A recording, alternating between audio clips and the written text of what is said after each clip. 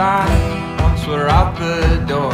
Leave your message here on the telephone, cause we've no idea when we're coming home. Anyway.